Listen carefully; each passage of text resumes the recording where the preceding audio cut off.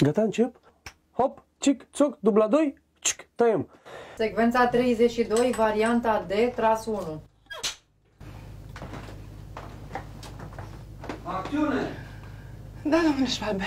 Madame Casiope, dacă nu te deranjează, te rog să-mi chemi ordonanța. Domnule Herman!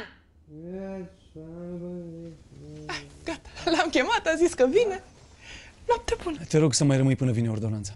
Te pomenești că ți-o fi urât să dormi singur. Așa mi se pare și mie. Dar de ce nu mi-ai spus că ți-aprindeam o candelă?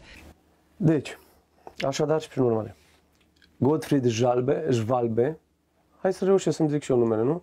Gottfried Jvalbe. Gottfried Jvalbe, soldat ofițer al armatei imperiale germane în Mihail Sorbu, dezertorul. 2018,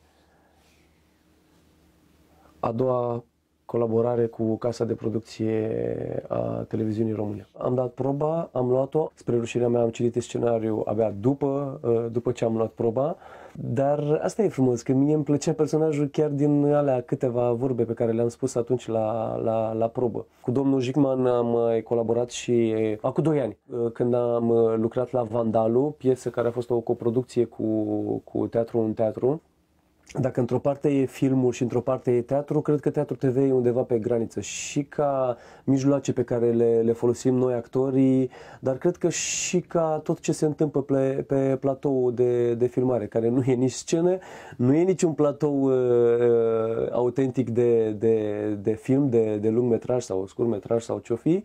Și trebuie să te poziționezi și e foarte, cred că e e foarte pe muchie, așa, nici să fii uh, teatral, nici să, să fii foarte filmic și, și firesc, dar să păstrezi nota aia de, de teatru pe uh, peliculă.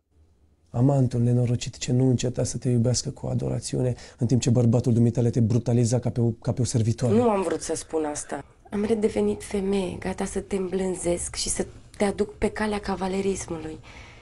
Ce poate fi mai măgulitor pentru o femeie simplă ca mine? Femeia unui bărbat simplu. Femeia visată de oameni superiori, dar care a ajuns prin bat jocura soartei în brațele unui om de nimic.